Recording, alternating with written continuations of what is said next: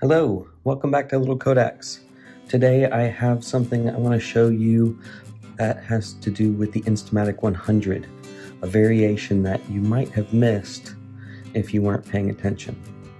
One of my viewers brought this to my attention and I had to check it out for myself.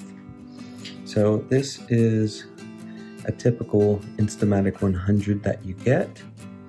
Um, this is probably the uh, one you'd find most readily. And this is the 1963 version. I don't know if you caught it. But you can see the viewfinder is just wide open.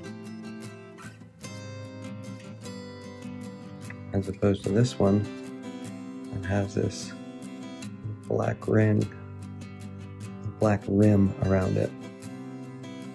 So as far as I can tell, they used two separate pieces here.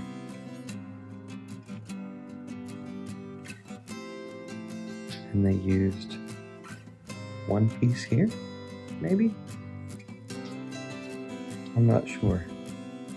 But it definitely was added after 1963. So I saw a couple cameras like this.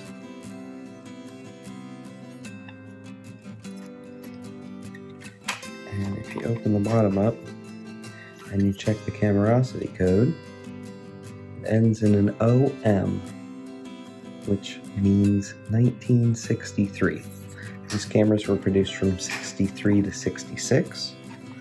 This camera is OR. 1965. I have another 100. We crack this guy open. It's also an OR. Also has that little black ring around it. I think I have a 1964, but I didn't go and dig that guy out.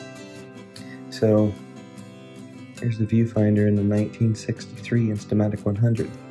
So if you see this, with no black ring around it, you'll know it's a 1963. So sometime after this, we got the black ring around the viewfinder. That's it. That's what I wanted to show you guys. So if you liked my video, please like and subscribe. Thanks for watching, and until next time, have a great day.